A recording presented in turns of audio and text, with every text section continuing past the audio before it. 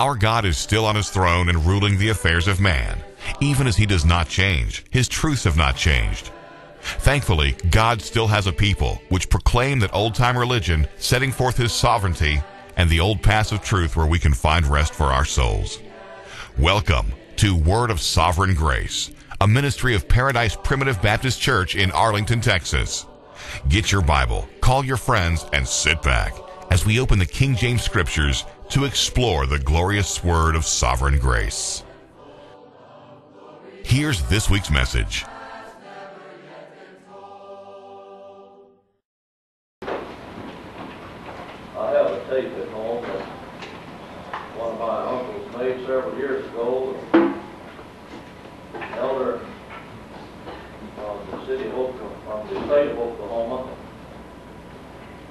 a black man, an elder of Primitive Baptist Church, and a young man, about 18 years old, came to the church in Wichita Falls, preached. I think the old elder's name was Deadwood or Smallwood, one of the Smallwood I have that tape at home. After the young man finished preaching, Brother Smallwood said, don't take the old man preach. And the Lord bless that young man. I feel the Lord has blessed this young man that's gone before. I'm not saying I'm old, I don't feel too old. In uh, 1 Timothy 1, verse 15, the Apostle Paul made this statement, I want to make it now, because I feel like this, the statement is just as true today as it was when Paul made it, when he wrote it. I believe uh, the saying is just as faithful, it's just as worthy of our acceptation today as it was then. This is faithful saying, worthy of all acceptation, that Christ Jesus came in the world to save sinners, of whom I am chief. This evening I'd like to speak to you from the book of Matthew, chapter 1. We'll begin reading about verse 18. And if I am able to do that which I would like to do this evening, and I can only do it if, unless, you know, if the Lord bless me, I want to speak to you on the subject of salvation, or we might say eternal security because I believe that the salvation of God's people is eternal. And I believe when they are saved, and what I mean by eternal security is that I believe that when God saves them, they're saved. And they shall never be lost. They shall never apostatize and fall away. I know the doctrine of apostasy is taught, but I don't believe it. And I, if there's any here today, and if you believe it, I hope the Lord will bless me to preach in such a way that maybe it'll dispel that you'll be able to see what we believe uh, about this subject. And I primarily would like to this evening for the very young people that's in this audience to understand what I have to say. Uh, I was delighted this evening that Brother Mike preached on the subject that he did on belief. Almost a year ago, I asked Brother Mike to write me uh, exegesis or paper on the subject of belief. I see he's been here a year studying on that, hasn't written it yet. But, uh, the reason I did that was, uh, and I, I think he knows, was not that I didn't think he understood belief, but that for his benefit, my benefit, and everybody else. I have preachers the father and minister to me kind of did me that way when I was growing up. He just stood up to me, you know, and said, the Bible says so and so. He quoted texts like, uh, uh, dead flies. See, the uh, dead flies in the ornament of the apothecary sends, sends forth the stinking sacrament. Well, you don't think that didn't stir young preacher. Get his head in the book. Then he come along and he said, upon all hills as it does with the there should no fear of briars and thistles. But it shall be for the sending forth of oxen and the trading in and out of lesser cattle. Well, again, here I go with the Bible. We see that was helping me study. I, I did that for his sake, helping him study. So I, I appreciate Brother Mike your studies on that. Very beneficial. And uh, I think we can encourage one another. And I appreciate what Elder Russell said about encouraging these young people. I like to be around the young people, the young ministers, and converse with them and discuss the scriptures with them. I do that quite occasionally. I'm saying that to draw attention to myself, but I enjoy it. Uh, I want to read to you, if you Bible, and you want to turn with me. Let's read, beginning with about verse 18 of this very, very familiar scripture. And I realize it's an old message, an old story, but it's ever new to me today. And it's something that I feel the Lord has laid on me, so uh, we'll try to proceed with it. And, and uh, trust that the Lord will bless it to His glory, bless it to your edification. Trust that there will be something in it that you might learn. Uh, once again, things in the gospel of the Lord Jesus Christ. Now, the birth of Jesus Christ was on this wise. When his mother, Mary, was the spouse of Joseph, before they came together, she was found with child of the Holy Ghost. Here's a woman that had never known a man. And before she and Joseph had come together in marriage relationship, come together in that union, she was found to be pregnant with child.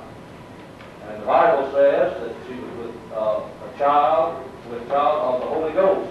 I believe this. This, this is talking about the miraculous, miracle working power of God to, override the laws of nature, the natural laws of procreation, and bring forth the Son uh, from a woman who never knew a man.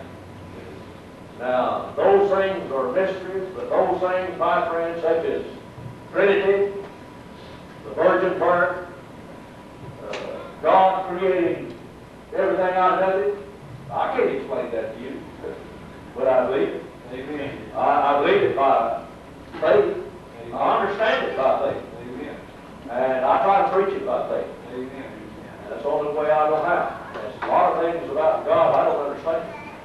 But one thing about it, say, I'm sure it'll be part of the day and I get up there and I don't know it all. uh, I, I, I'm a great lover of truth, and I like to uh, seek out and to search out. Sometimes I write letters to my brethren, and I sign that in quest of truth. I want to know what the truth of God is. So that I can preach the truth, so I can be comforted by the truth myself, so I understand it. I can't tell somebody teach anything about, uh, about something I don't understand myself. And so, neither can you. And so we pray this evening that God will bless us in this, and you be praying for us. Now, this woman was found to be with child of the Holy Ghost. This is talking about the virgin birth of Christ.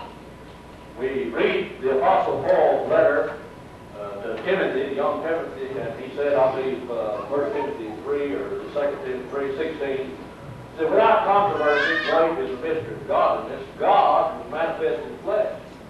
Says he's justified in the Spirit. Says he was uh, seen of angels. Says he's believed on in the world, preached unto the Gentiles, received up in the glory. Well, I don't understand. I can't understand and fathom all of the intricate details of that, believe. He said it's a mystery. And he and uh, he said, I'll tell you one thing about this mystery. He said there's no controversy about it. Now, there's a lot of controversy about things in the Bible, but there is no controversy about that. God was manifest in the flesh. Now, we believe that. All right, we're we're going to try to talk about that. My, my subject today, my text, is found in the 21st verse of this first chapter of the book of Matthew. In the 19th verse, it says, Joseph, her husband, being a just man and not willing to make a perfect example, was minded to put her away privately. And I appreciate that uh, uh, in the Bible here, and the disposition attitude of this man. Now, he could have gotten angry about it, and really going to make a big stir about it, no. Going to quietly put her away, not make an example, public example out of her, and just quietly put her away. Now, uh, he had a right in his own mind, and according to the law, because he, how did he know? Here, he, this espoused woman is found with child. There's some uncleanness. But no, there was no uncleanness. She was found of child by the Holy Ghost. Now, in the text that I read in 1 Timothy 1.15, it said that this is a thankful saying, worthy of all acceptation, that Jesus Christ came into the world. Now, if he came into the world, where did he come from? See? He had to come from somewhere. If he came into the world, where did he come from? And it tells us why he came. It says he came to save sinners. Now, if there's no sinners, then something's got to kill for somewhere. Because this text says he came to save sinners. And Paul says, listen, he says, of whom I washed you. Huh? He says, of whom I am chief. All right? Now keep that in mind. Why, why would Paul make such a statement as that? That Christ Jesus came in the world to save sinners, uh, of whom I am chief. Paul no doubt felt that he was yet a sinner. Yet he believed in salvation by grace. He believed that Jesus Christ saved him from his sin, yet he recognized the fact that sin was in his flesh. I know he did from his letter to the church at Rome, and the seventh chapter particularly, when he talked about the law uh, that was in his members, that warred against the law of his mind, throwing him into captivity the law of sin, which was in his members. You ever experienced that? If you did, you're a sinner. Well, we're all sinners. But Jesus came in the world to save sinners. And that's a faithful Savior. It's worthy of all acceptation. All you got to do now is just accept that as being a fact. Paul said it was a fact, and uh, you may not understand all that, but accept it as being a faithful Savior. It is faithful, and it's worthy of your acceptation. Accept that. Christ Jesus came into the world to save sinners. Now, in the 20th verse, he said, But while he thought on these things, that is, while he thought about putting her away privately, uh, somebody spoke to him. Uh, Behold, an angel of the Lord appeared unto him in a dream, saying, Joseph, thou son of David, fear not to take unto thee Mary thy wife, for that which is conceived in her is of the Holy Ghost. And she shall bring forth a son, thou shalt call his name Jesus, for he shall save his people from their sins. Now, I want to look at verse 21 with you for a little while this evening. I see three things I want to try to present to you as we look at this verse. First of all, we see that this holy thing that was born of this woman, name would be called Jesus, and that he would be, is, was, and is a Savior. A Savior. That's the first thing we see that there's a Savior coming. All right? Uh, he shall save his people. Secondly, we see that there is a relationship, and I might even say an ownership uh, taught right here as showing a relationship that this one who is a Savior is coming to save someone. And that someone that he came to save is called his people. Now, his people scripturally are called by various different names in the Bible, such as sheep, uh, such as brethren, such as children, uh, and various different named people, uh, various different names that they have in the Bible. But here it says in this text, his people. He came to save, so he's a Savior. He's going to save his people, and it tells me here that the ones that he come to save are sinners. He shall come and he shall save his people from their sin. He's going to deliver them from their sin. Brother and sister, I believe that's still going on. What do you think about it? I believe Jesus died for us on Calvary's cross, but I'll tell you, Jesus is mediating for you and for me right now in heaven and on going before the Father. And I believe with all my heart, uh, Brother Norman, when, if, we, if and when we transgress one of God's laws, uh, that Jesus Christ, our mediator, stands between us and God. And let me say it this way, Father, remember the Calvary, remember my blood was shed, and you are preserved in the Lord Jesus Christ and kept by his power, and will finally one day be delivered into the shining courts of glory, and my friends delivered from this whole earth. Jesus Christ has redeemed us, and we are, uh, one of the other names, we're a purchased possession. All right, he's going to come and redeem the purchased possession from this earth. My friends, save us from our sin. He's going to save us from our sin. He's going to change this vile body of mine and this vile body of yours, and be made like in his own glorious body one day and presented there before God the Father in heaven. That thrills me, Brother Monroe, when I think about one day I'll stand before God holy and without blame before God, uh, for I'll stand before him ashamed of my sinful flesh and the deeds that I've done and the foolish and evil thoughts that I think while I'm here on this earth. I love to think about that day with the horn wind, that all the family of God, of God will be gathered yonder in heaven, and will be laid to say, once and all free at last, Free at last. Thank God Almighty. I'm free at last. What do you mean free? I'm free from the bondage of sin uh, that oft makes us born. I tell you, Jesus Christ came to save sinners, and I'm expecting He's going to save me uh, from myself. He's going to save me from this whole world and carry me into the glory world. Uh, yes, Jesus Christ. Well, now, as I look at this this evening, uh, first I we see uh, that Jesus is a Savior. Secondly, we see that he comes to save a particular people called his people. And then thirdly, we see that those people are said to be sinners. If they were not, it wouldn't have said he come to save them from the sin. So Christ Jesus came in the world to save sinners, Paul said, of whom I am chief. Now I want to look this evening as the how did these people, when the text says he came to save his people from their sin, how did they become his? How did he come in possession of them? Now, uh, this within itself is a very broad uh, subject this evening, but uh, for sake of brevity and for sake of time, we'll just look at a few things in God's holy word that shows us this divine relationship that we have with God and how it is that Jesus, we are His.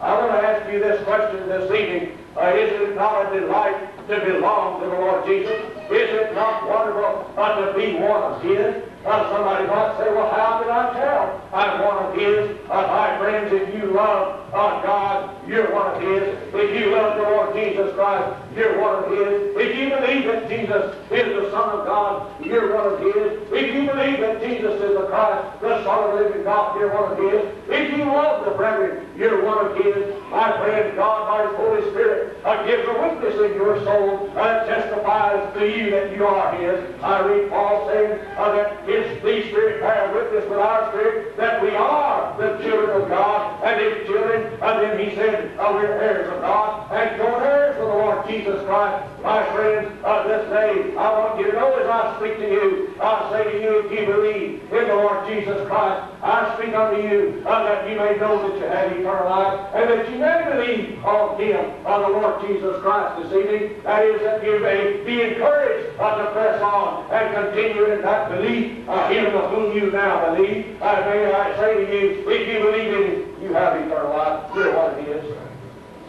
You're one of his, and you believe according to the working of his mighty power uh, when he wrought that in you. Uh, that same power uh, that God used to raise his son from the dead, he raised the dead carcass in your soul, my friend, and His Son has taken up His abode in your life. This is Jesus Christ uh, taking the Lord to save sinners. Jesus Christ come and deliver us from our sin. Oh, my friend, what a, a Savior that we have. Jesus Christ, the Son of God. Now, are we His or not? There's an old song, am I His or am I not? Somebody might say, why uh, would the poet say that? Am I His or am I he didn't know any better. I'm telling you, my friend, we have doubts and fears along the way. Uh, sometimes the devil will come along and tell you you're not, uh, but if you believe it, you are. I tell you, uh, he works on me all the time, and I know he works on you too. Uh, but there's one thing that I firmly believe this that I'm a child of God, uh, blood bought and heaven bound, and the devil and all his imps uh, ain't going to keep me here in this world because uh, this world is not my home. Heaven is my home. Uh, well, uh, as perfect as can be, and for you, my friend, uh, God has shed his own precious blood. And how did you become his? You became his as a free gift from God the Father because uh, God loves my friend, uh, so much gave to Christ uh, to one who's very capable and able to save you from your sin. You couldn't save yourself. I couldn't save myself, uh, but Jesus Christ could do it, and did it, my friend, and so God gave you to him. I, I, I go on to the Scripture now. We find in John chapter 6, uh, verse 37, 38, and 39, I hear of the Lord speaking, and he said this, All the Father giveth me uh, shall come to me. You say some of them won't? Jesus said they're all coming. Yes, and how they're going to come. I want to look at that too. Jesus said, All the Father giveth me shall come to me. I love that. That's eternal security, Brother Floyd. Uh, that's salvation. Uh, yes, it is. Uh, that's eternal salvation. All that the Father giveth me uh, shall come to me. And him that cometh unto me, I will in no wise cast out. Or Now here's where he it up. For I came down from heaven, not to do my will, but the will of him that sent me. This is the Father's will in all that has sent me, that all, listen, that of all which he hath given me, I shall do nothing but raise them up again at the last day. Somebody might ask the question, well, how did they become gods? To give the to Christ the birth. He told you. We got scripture in the Bible that in Ephesians chapter 1, verse 4, uh, the Apostle Paul said that he chose us in Christ before the foundation of the Good enough for me. It's good enough for Paul. It's good enough for Simon. It's good enough for me, and it's good enough for you. And my brother, just lay hold on that beautiful truth of Almighty God. You may not understand it, but lay hold on and accept it as a fact of the, of the glorious gospel of Jesus Christ. Because, my friend, it is the truth. God, being sovereign in His brethren, the words we preach today, simply chose you uh, because He loved you, and in time He sets His love upon you and quickens you by His divine Spirit. He sent His Son in the world to die for you because He loved you. Yeah. My friends, He loved you to such extent that He gave you to the Son to save. And you know the Son was willing perfectly willing and in perfect harmony and union with God. Uh, and, and uh, I, I don't have time. Well, let's just get into the covenant right here. but you know, uh, that's another discourse with itself. So God, I understand this way. God chose you. The Son says, I'll redeem them. And the Spirit says, well, I'll quicken every one shall redeem. All right? Uh, and, that, and a perfect union in that. And God gave them to the Son, and the Son was agreeable to do his part, keep his part, because the Holy Spirit, I'll keep mine. And my brother, that's the divine truth of God. Satan and all his imps, I'll say, can't destroy that. God's word will stand forever. In this world wrapped up in flames, the truth of God will stand forever. And the redeemed, all the redeemed family everywhere will stand and sing the praises of God one day. You know what, friends? We sing the song of redemption now, but I think we'll sing it now too. Yeah. Thou praise for thou wast slain, hast redeemed us to God. But I pray on every kindred tongue, nation, and people. I love to sing that song uh, in the house of my God, uh, and among the people that are around uh, who believe in uh, eternal security of the saints and uh, that Jesus Christ saved them without the loss of woman. Oh, yes, my friend, we sing that and we rejoice and serve God as kings and priests today, relying upon not a tri-two Savior, but a triune Savior. I remember in, uh, I remember over in, in uh, Isaiah chapter 43, verse 11, I believe it where he said, I, even I, am the Lord, and beside me there is. Well, that tells me there's just one. That tells me there's just one. My folks, uh, listen, friends, if you think that God is working for you, all you got to do is put a little bit of assistance on that. I got news for you. God will not give that glory to anybody else. He said, I, even I, am the Savior, and beside me there is no Savior. And the Apostle Peter said uh, that there's no other name uh, under heaven given among men whereby we must be saved. He said, neither is there salvation in any other over in Acts chapter 4. Now, was that man was healed, you know? All those Jews thought Peter really done a good work. He said, why don't you look so steadfast on us as though we have done some good thing? Oh, no. He said, faith. His name. God's name. Through faith in his name, they just been hope. Then he declared, for leaders of salvation in any other. He's preaching Jesus Christ. Somebody says, I thought you talking about eternal salvation. I don't care what kind of salvation it is. You don't pay me Amen. He, he saved me eternally. He saves me timely. That's right. He saves me gospelly. That's right. He delivers me from physical ailments. That's right. Jesus is my Savior. That's right. He's the Savior. Listen, folks, people need to learn that there's only one Savior. That's Jesus Christ alone. I don't care what you need delivering from. He's able to deliver you. The thing about this, we need to believe more. What you. We need to believe. When Jesus said pray, pray believing. And you'll have it. If you don't pray believe, you expect to get it. No, read James chapter 1. He said, don't let that man think you receive anything if you don't pray in faith. And what is faith? Believing. Oh, my friend, do you believe that Jesus Christ is the Savior? You believe this virgin-born one is the Savior? The angel said, you call his name Jesus. By the way, Jesus means Savior. And said he's going, he came to save his people from their sins. So they're his by gift. God chose them. He gives them to the Son to redeem. And they're his with the Father before the world began. Don't ask me to explain all that. I can't do it, but I believe. I believe we were his positionally before this whole world began. I believe in Romans 9, where he talks about taking these off, two sons, two children may not get born, either haven't done any good or any. And what he's talking about, he's talking about election time. One boy represents the elect, the other the not elect. And he says uh, that, and God did his sovereignty. He said it wasn't by works. It wasn't of him that will, but it's him that called.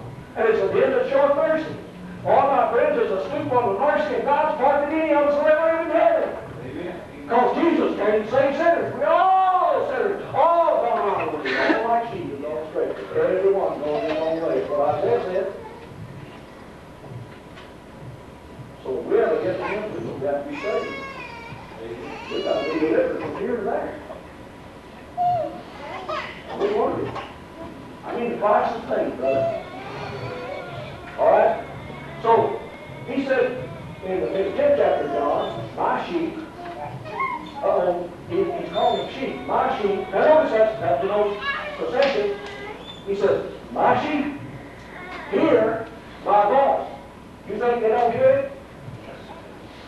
My sheep my voice. Now, in the Bible, there's a difference the voice and hearing the word. I hope you understand that. I'm not going to try to deal on that. But he said, My sheep hear my voice. He said, I know them. Oh, I like that. I know them. And they follow me. Well, how many did they follow? He said, I know them. And I'm going to tell you something, friends. Here's one preacher standing before you today that believes that when Jesus said, I know them, I think he knows everyone personally. Amen.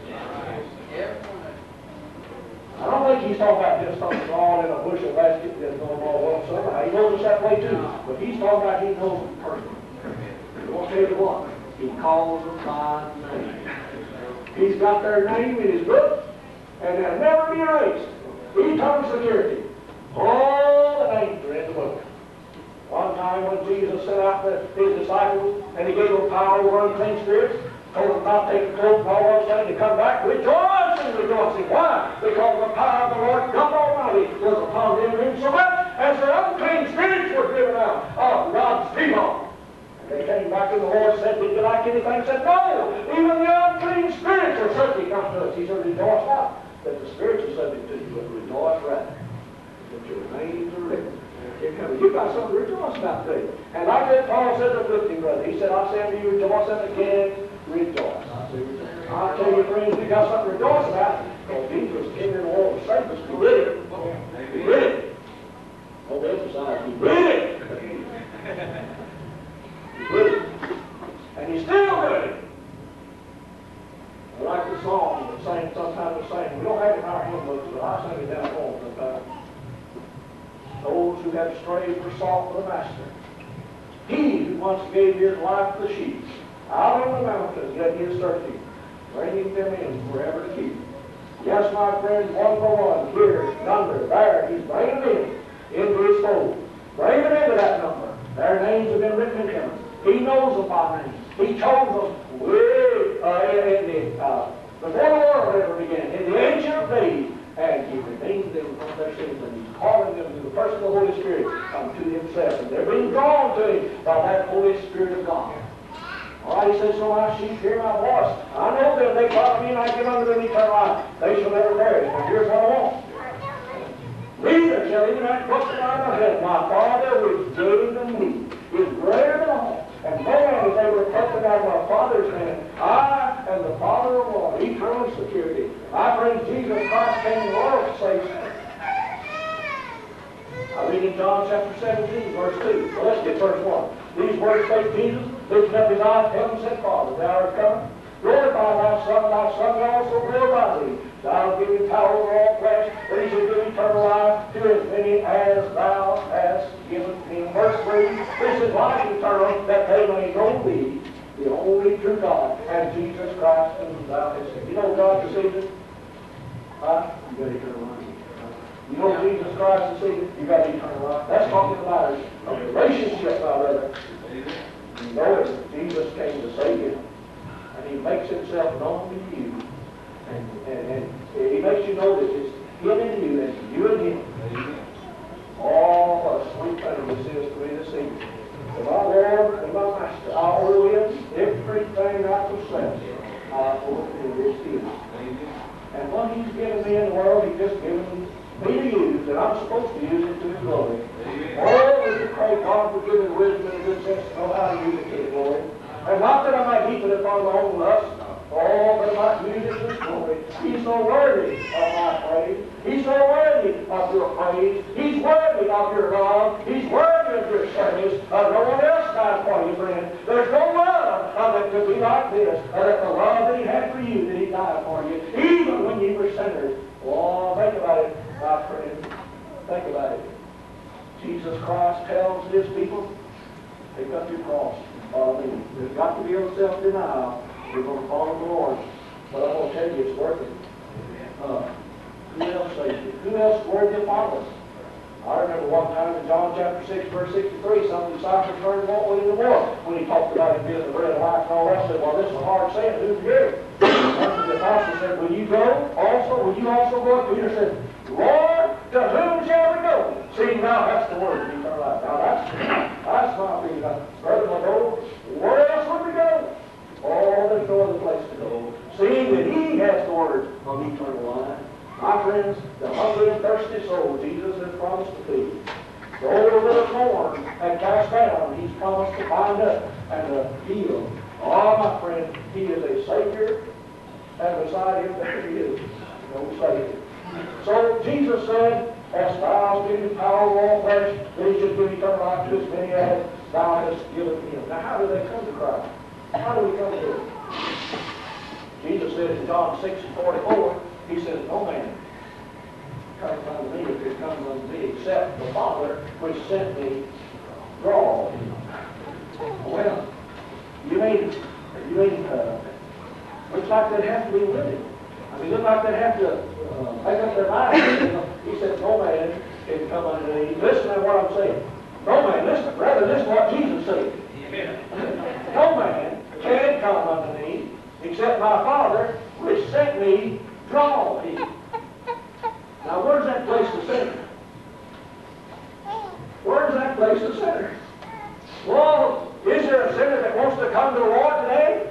If there's a sinner here today that wants to come to the Lord, and I'll tell you, if you're here today and you want to come to Him, I'm going to tell you to come to Him. But I'm going to tell you, the only way you will come, really in the true sense of the word, is He draws. And if you really want to come, and it's a sincere thing, it's because the Holy Spirit's drawing you. You know in the Revelation letter it says the Spirit says God, and the bride says God, and that whosoever will come and take the water life freely. Now the Spirit of God says come, and the Spirit of God draws. I'm reading Jeremiah. That's not like preaching on it. Verse 3. I hear the, I hear the Lord speaking to the prophet Isaiah. He said, I love thee with an everlasting love. Therefore, with loving kindness have I drawn thee. Please, David, where God's drawing us. He drawn us into the bosom of, his, of our Savior. Oh, yeah. Drawing us into the bosom of our Savior by His Holy Spirit. He calls from His love. I love thee with everlasting love. He said, Brother Bill. Very good. Now, because of this love, have I drawn thee? Now, some folks think that we're a little bit out of our head because we think God, that takes people God the church up, bringing them with you, willing to or not.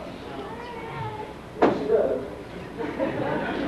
he gets ready for you, he's going to draw. And I'll tell you what, listen, I'm not talking about just out of higher head. I'm talking about he makes you ready to raise his power. That's right. That's right. Yeah, they're going to come. Jesus said they're going to. Tell me why they're not. He said they are. Well, how? They will be drawn. Are they going to resist that drawing? No, sir. I believe in irresistible call. That's right. I believe in irresistible call. I believe in the effectual calling of God.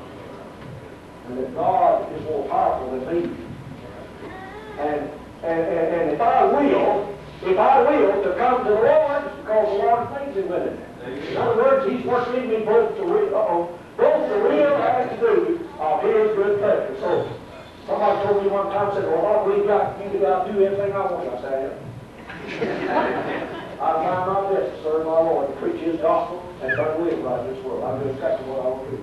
Why do I want to do it? Because the Spirit of God impels me to do. I'm persuaded to do it. Why? Because Jesus loved me, and I hope I love him. I hope I prove to him, Norman, every day I really love him. I go around here and, and deceive you, but I can't deceive the Lord. And I won't deceive you very far either, I guarantee you that. I go around here and say, I love the Lord, and I love the Lord, and I'm doing everything to serve him. Why? That's not love. That's deception. That's a lie. Jesus said, if you love him, keep the commandments. And you go down about verse what, 21? So that's same chapter there, verse, uh, chapter 14. He said, He that hath my commandments and keepeth them, he it is that loves me. Then about verse 24, he said, uh, He that loves me will keep my saying. I said, if a man really loves me, he will do what I said to do. See? And you prove you love him by doing what he says to do. If you haven't done that today, you ought to do it. That's right. You ought to do it. And that will forever prove the fact that you love the Lord Jesus Christ. That you believe He is your Savior. And that you understand He loves you even when you deserve to be loved. And He saved you when you don't deserve to be saved. And it's a small thing that we can come in return, prove that we love Him by denying ourselves and laying our life down for Him. That's what He did for us. It cost you a whole lot more than it's going to cost you. He came in the world to save sinners. That's you and me. Why they come to the Lord? Because the Lord draws. Only you know he said, My Father will simply draw him. He said, I'll raise him up at the last day. Eternal security. All right? Now, when we when we find the Lord came into the world, well, I'll start. Well, I'm glad you lost track. Well, I he said, in, in uh, uh, verse 45 of this chapter of John, there's something about knowing Christ. You know, the Bible, when I read over in John chapter 7, says, My sheep hear my voice, and I know them. Well, you know, there's something about us knowing Him, too.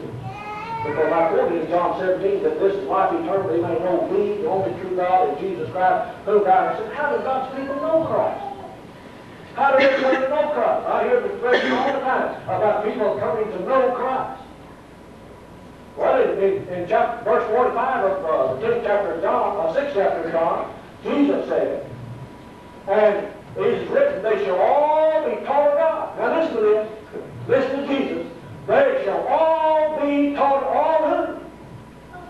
They shall all be taught of God. Still talking about his people as will come to. Context, that's verse 37, isn't it?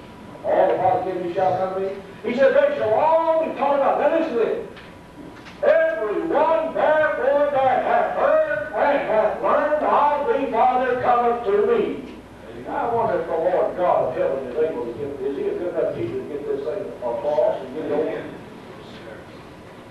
Sometimes I preach and I shoot over people's heads. They admit it. Dennis said, you shot over the head. Didn't understand. God don't shoot over your head. God works in his heart and in this mind. I'm it, it works. It, it doesn't. He said they shall all be taught of God, because it's written there. It's going to be that way. And so God is, what God's going to teach you.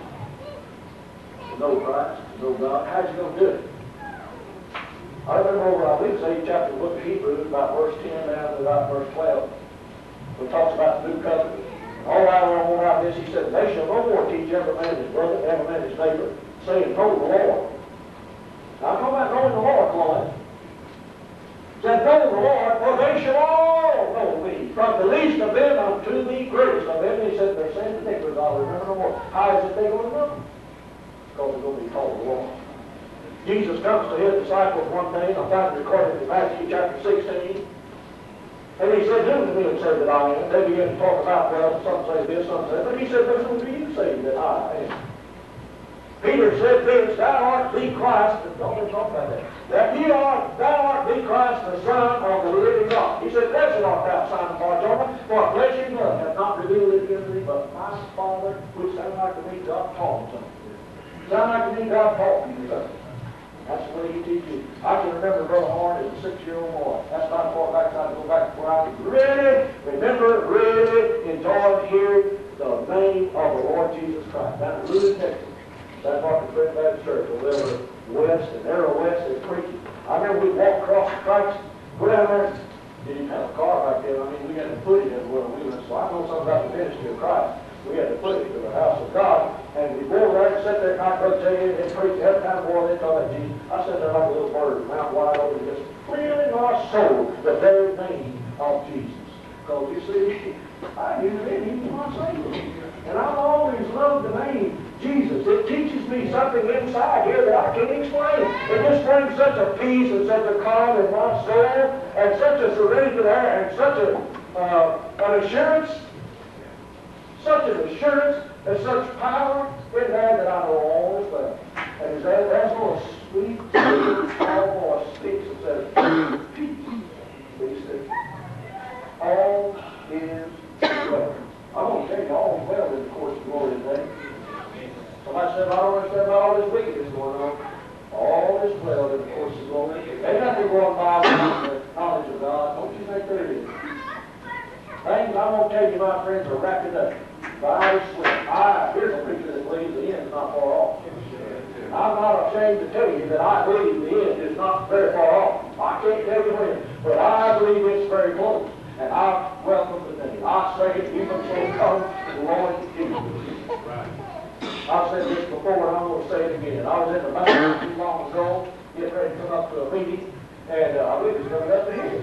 And uh, I was standing there talking to Keller there, bank, uh, we're good friends, went to high school together, and uh, she's a very fine Christian woman. Brother Horn, we talking about uh, the things in the scriptures, and I was telling her I was getting ready to go to a meeting, and she said, oh, I wish I could go. I to stay here and work. I said, well, uh, you be praying for us, and God bless us with good meeting. I said, you know what? I said, I believe that this whole world is about to come to an end. And I said, I'm like John on the Isle of Patmos. I said, even so come Lord Jesus. About that time, there was a woman standing there beside me, and I didn't pay her mind. She'd been listening to me preach there for about 10 minutes.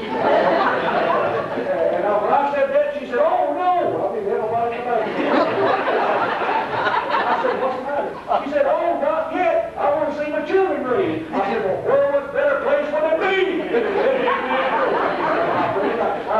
Even so, come, Lord Jesus. Ah, is that your thing? You want the temporal, uh, the temporal things of this whole world? Or do you want to see the things that all not be, brother? I don't no holy thing for me. Uh, oh, no. Uh, somebody said, you don't love your folks? Yes, I love my folks. But I'll tell you what, I'm looking for that grander love on that shore. Yes, I love my folks. I thank God for the things I have. But they don't mean anything to me as far as my Savior is concerned. I might rather teach all He is my Savior. My wife didn't save my soul. My children didn't save my soul. I didn't save theirs. My mother didn't save me. God didn't. My father didn't save me. God did. My Savior saved me. I'll tell you, my friend, yes, I love Him, but I hope I love my Jesus more. And I hope you love your Jesus more. Now, you knew you could today. You step out on His promises. You be baptized in the name of the Father, the Son, and the Holy Spirit. If you've already been baptized and you're still not doing your duty, and God has laid something on your heart and you're not doing it, may I tell you today, you do it. You prove you love your Lord about making that commitment unto the Lord. I've been talking to a young couple for about two weeks, and the Lord's blessed us in a wonderful uh, services together in my home. Out some Bible doctrine they don't understand. And this woman cries out, she said, Oh, I feel like I need to make a commitment. I said, Sister, if you feel that way, you ought to it. I said, You need to make that commitment. I went the thing holding back is they don't understand the doctrines. I said, Listen, uh, you're not required to understand all the doctrines uh, before you get in the church. Uh, but Jesus said, Take your wife, uh, yoke upon you and learn of me. I said, The thing to do, if you have that commitment in your heart, uh, God's telling you to do it, you ought to do it. That's what His name say. Uh, because if you love Him as you to, you ought to do. And He'll teach you along the way. You'll grow in grace and in the knowledge of the Lord Jesus Christ. So don't sit back there on the bench if you don't understand all the doctrine. And the Lord has laid on your heart and make that commitment to Him. How to come into the grand old church. Now I'll tell you. Jesus is your Savior.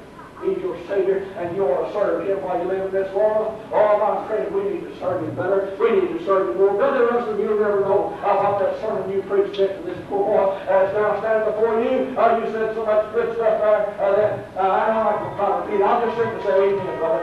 Amen amen. Oh, yes. May we have that commitment toward what this. Jesus Christ came in the world to save sinners. His people brought into divine relationship with Him, drawn to Him by the Spirit of God. And I had him got down to something I want to get to here about how He saved us. But I told you that they are taught of God to know Him.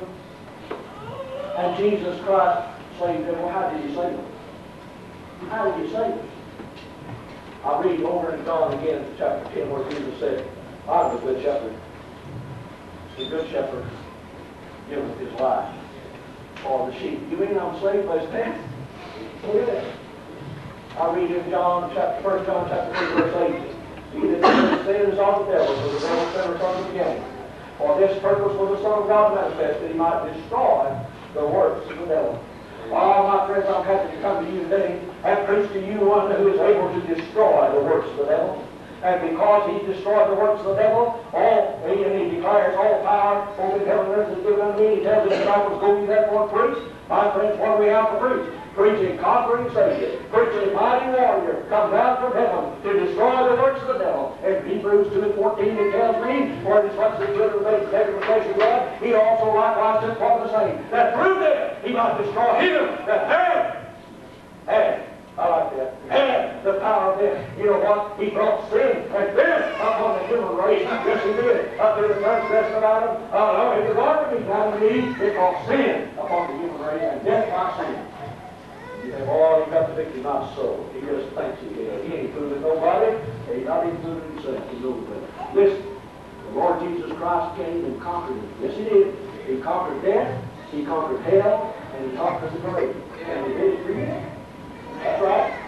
He came to destroy the works of the devil. You see, the devil brought us into a state of sin and separation from God. But Jesus, through his death, destroyed that and brought you out of it. That's what he did. He brought you out of it. And now, as a result, he's sitting there at God's right hand, expecting to all his enemies, with his enemies he made the last enemy he destroyed is death. You believe it? Amen. Death. The last enemy he destroyed. Death. Then cometh the end.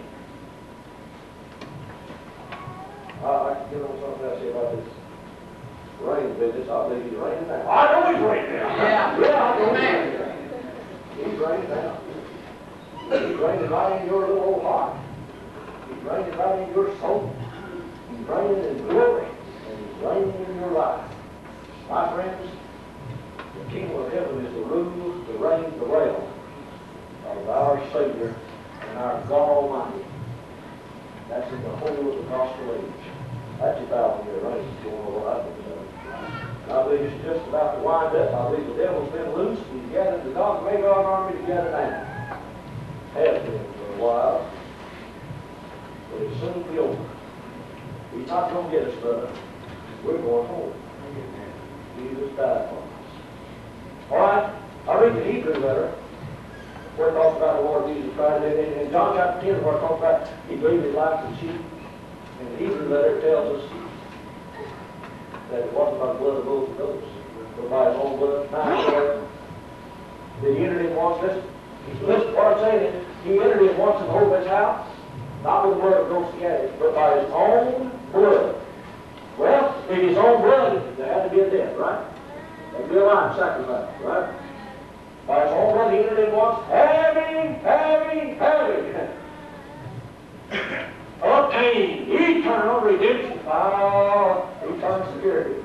Eternal redemption for us. And over in 9 and 26, he talks about uh, coming once and into the world to put away sin by the sacrifice of himself. Whether he saved you by sacrificing himself, that ought to tell us something. That ought to incite us to want to serve.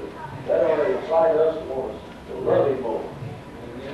And, uh, and to put our lives into a certain, make a commitment to it. You know, I don't think, Brother Boyd, we preach enough about making a commitment to the Lord. Amen. Making a commitment to the Lord. Now, when I say make a commitment, I mean make a commitment. I'm going to say something right easy here. Y'all take it in love. Don't wait till your retirement age to make your commitment. Amen. Now, I mean that love. Now, y'all will share it love, okay? The blessing, is in the doing, not just the hearing.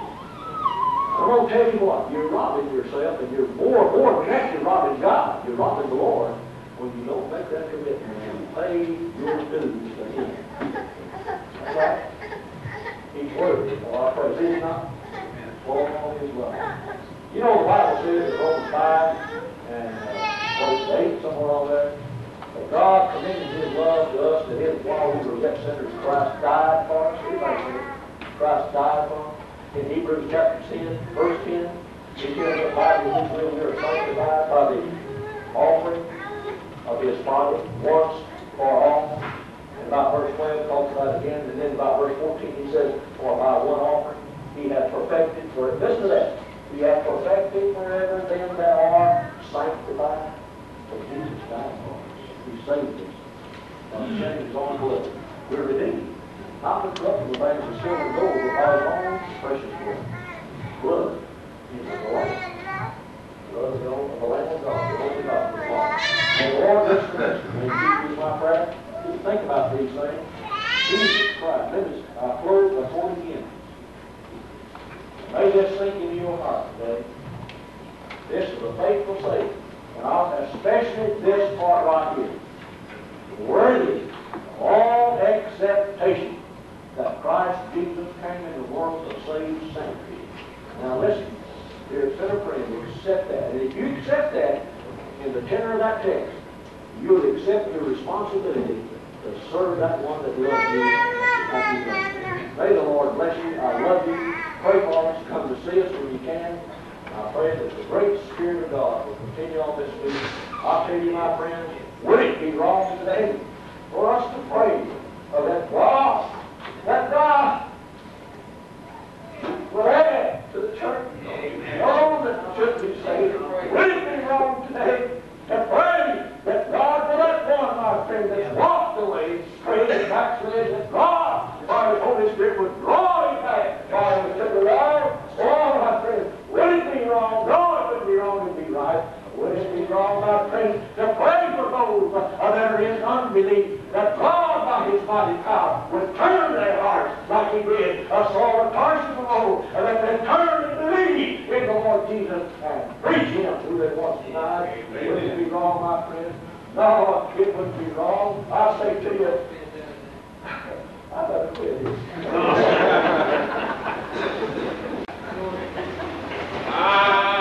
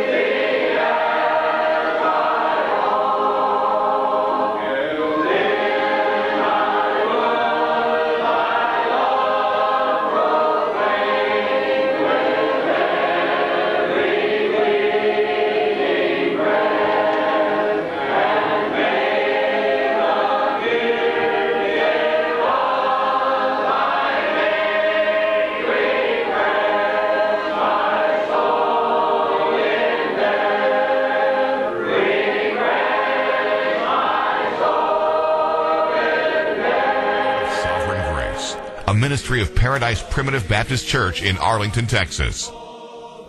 Paradise Primitive Baptist Church is located at 5300 Mansfield Road in Arlington, Texas. Services begin at 10:30 each Sunday morning. Plan to come and worship with us. To find out more about Paradise Primitive Baptist Church, visit www.paradisepbc.org. Be sure to visit our website for articles, video, and audio sermons, as well as biblical answers to your questions. Thanks for watching, and be sure to join us again next week. May God richly bless you.